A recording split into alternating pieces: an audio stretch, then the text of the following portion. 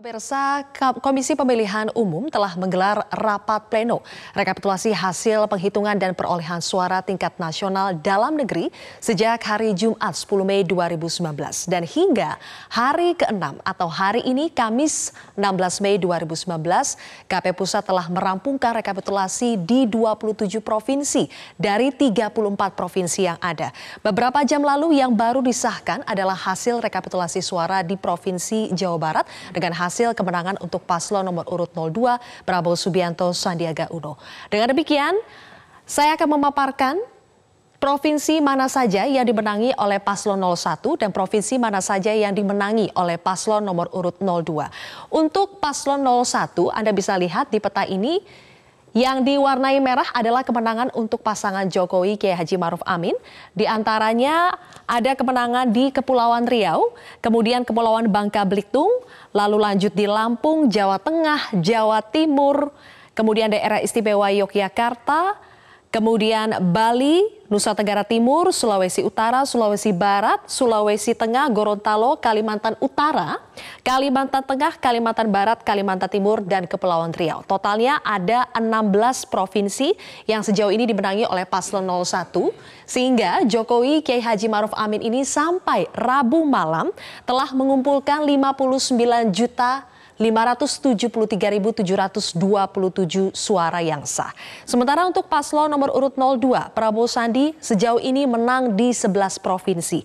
Apa saja? Dimulai dari yang berwarna kuning ada Aceh, kemudian Sumatera Barat, Jambi, Bengkulu, Banten, Jawa Barat, Sumatera Selatan, Sulawesi Tenggara, Nusa Tenggara Barat, ada Kalimantan Selatan, dan Maluku Utara. Totalnya ada 11 dan sampai Rabu malam suara Prabowo Sandi adalah 40 juta 93 ribu 420 suara yang sah.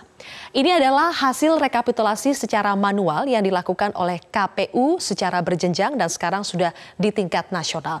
Kita akan lihat lagi, selanjutnya adalah Real count KPU atau perhitungan yang didasarkan oleh Sistem Informasi Penghitungan Suara KPU atau Situng KPU yang dapat diakses secara transparan secara umum oleh masyarakat melalui situs KPU.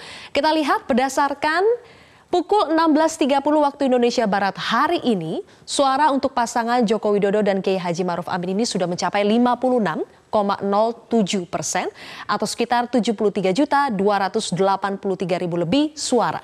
Sementara untuk Prabowo Subianto Sandiaga Uno 43,93 persen atau sekitar 57 ribu maksud kami 57 juta 431 ribu lebih suara. Ini adalah progres suara per pukul 16.30 hari ini dengan total suara yang masuk adalah 85,31 persen atau 693.917 TPS dari total 813.350 TPS yang ada. Berikutnya kita akan lihat mana saja provinsi yang belum selesai dilakukan rekapitulasi oleh KPU. Tadi juga Komisioner KPU sudah menyebutkan ada tujuh provinsi yang belum selesai direkapitulasi. Di antaranya warna hijau adalah daerah yang belum direkap. Ada Sumatera Utara, ada Riau, DKI Jakarta, Sulawesi Selatan, kemudian Maluku, Papua, Papua Barat dan ada satu lagi tambahan di Malaysia di luar negeri.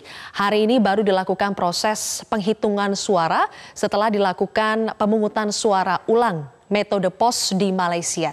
Sehingga kita masih menunggu hasil dari tujuh provinsi di dalam negeri yang belum selesai direkapitulasi dan juga satu di Malaysia. Target oleh KPU ini akan selesai, semuanya harus diselesaikan karena secara peraturan memang harus selesai pada tanggal 22 Mei 2019. Ini adalah batas akhir rekapitulasi yang diperbolehkan secara aturan undang-undang dan juga akan diumumkan hasil resminya KPU pada tanggal yang sama 22 Mei 2019. Yang perlu Anda garis bawahi pemirsa, meskipun ada dua metode penghitungan suara, yang satu adalah rekapitulasi secara manual yang dilakukan secara berjenjang dan sekarang sudah di tingkat nasional dan yang satu lagi adalah metode dengan menggunakan real count atau situng KPU, tetapi nanti Nantinya KPU ini akan memutuskan menetapkan siapa pemenang pemilu berdasarkan hasil rekapitulasi secara manual atau yang saat ini sedang berjalan sampai 27 provinsi. Tentunya kita masih menantikan apakah tujuh provinsi ini akan bisa selesai sebelum tanggal 22 Mei 2019.